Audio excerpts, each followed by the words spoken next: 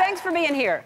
I asked for you because I, I, have known about you and I've heard amazing things about you. I watched your documentary, and you're one of the most inspirational people that, that I think I've ever been aware of. So I wanted you here because um, there are a lot of people that are going through a lot of tough times right now.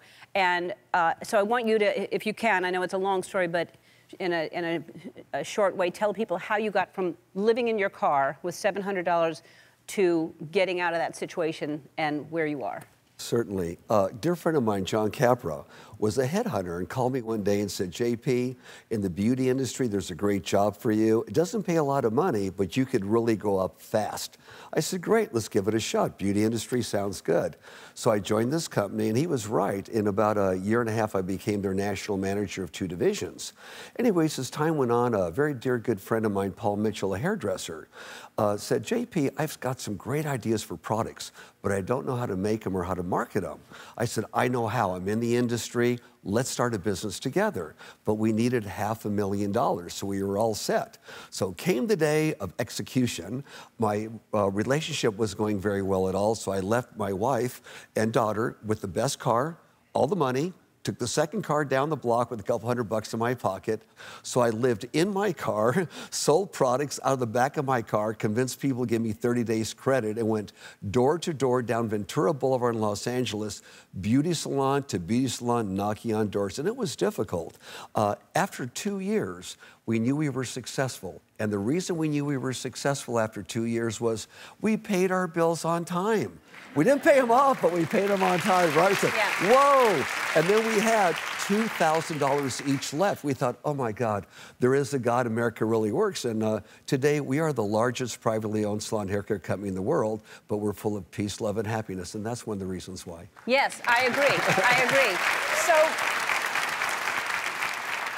so what I love about you is you're extremely successful, but everything you do is somehow helping a charity, and it's really important to you. And I yes. want you to explain to everybody why it's so important that you give to so many different charities. Very good question. When I was a little child, we had no money. It was here in LA growing up in Echo Park, my mother, my brother, and I. In 1951, I'm six years old, and my mom takes us to downtown LA on a little trolley car. We had trolley cars in those days.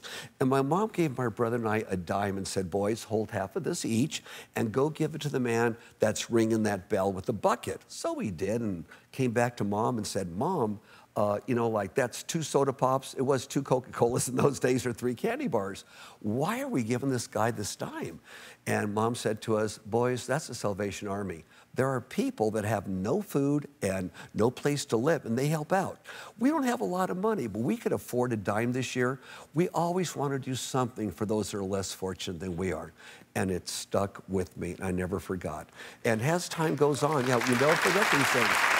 So as we do, as we became more successful, I always volunteered for doing things in my life.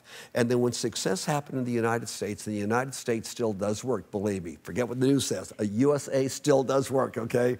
That I was able to give back financially as well as show up. And my feeling is this, that we're here on the planet Earth, we come with nothing.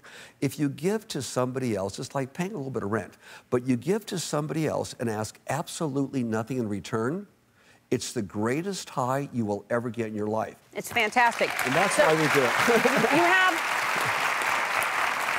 you have a new show coming out called Success uh, of Unusual People. Yes. And, uh, and tell everybody what that is. You bet. It's what the world needs today. You turn on television, you have your choice of what you want to watch. Well, why not something positive that influences people? So it'll be different stories of people that you would have never thought ever had a chance for success. Whether they come from poverty or really bad things happening in their life, like myself and many others do, or challenges, right? They somehow overcame it. They're unusual people and became extremely extremely successful, many financially, and some just successful in what they did in life. Well, during the show, it shows everybody how they did it. It's a lesson in life. And that's what we want to show in every single episode at the very end. So, something to do in between shows. They could practice it. I love it. I love it. Thank you so much. You can look out where you can watch Success of Unusual People. We'll be right back.